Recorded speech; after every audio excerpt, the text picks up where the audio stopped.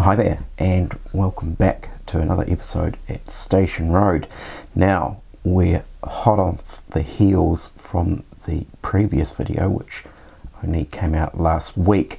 and I thought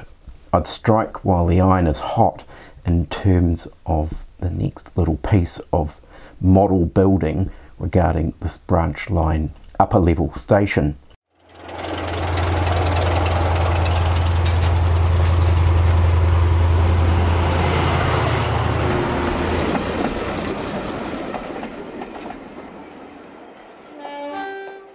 So from the relative success of the gable ends that I had laser cut out of one millimeter card,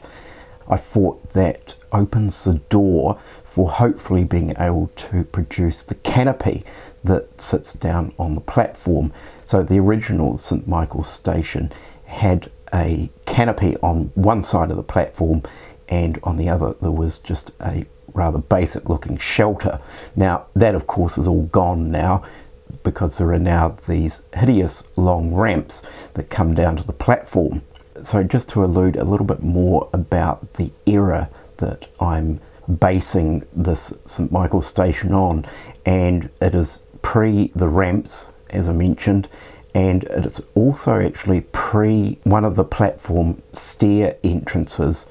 being modified into some kind of wider squared off concrete looking entrance when in one of the photos that I actually managed to dig out I could faintly see where there used to be an archway that was the same as the other side. So once again I designed up a simplified version of the canopy. Of course the real canopy had a lot more detail and was far more intricate but to try and do that at 1 in 76 scale it's a little bit difficult unless of course maybe I had a 3D printer. So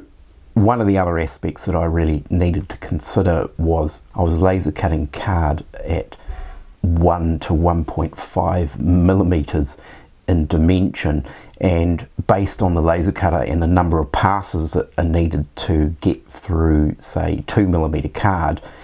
essentially the card will probably burst into flames so hence why I use one millimeter card because it needs far fewer passes. So in some components with the canopy design, I use one millimeter card but doubled it up to achieve a thicker dimension. So with all the components laser cut and it did actually do a reasonably good job. It's such a tiny intricate size. It was then a case of assembling this, which I knew was going to be quite a tricky process, but with a little bit of patience and also the help of some pieces of wood to support and hold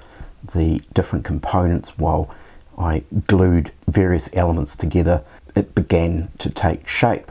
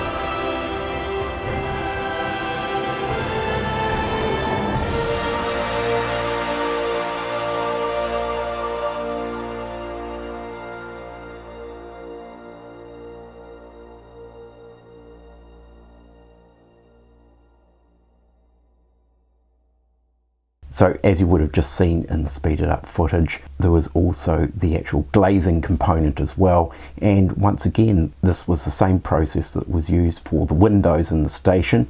but just on a slightly larger scale. So as part of the canopy design,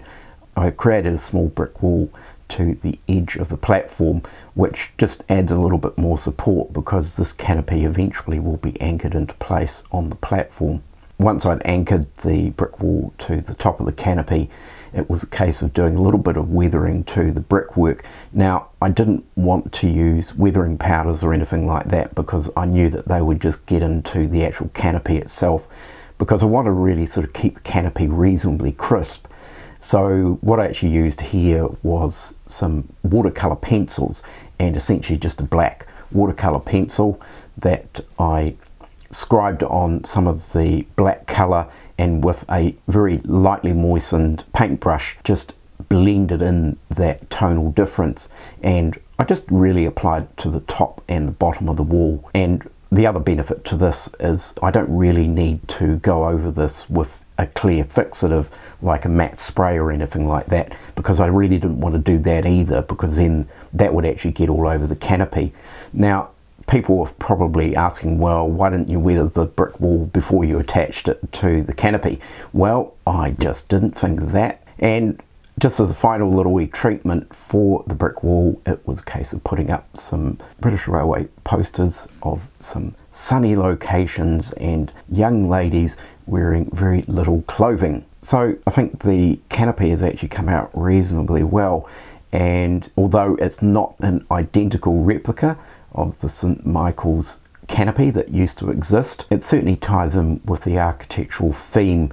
that existed in the early days of the St Michael station. So what's next on the list for this particular area of the layout? And you would have seen in some of that footage there that a small embankment has been created next to the platform in between the branch and the main line. Now that is in the early stages and I have recorded some footage with the work on that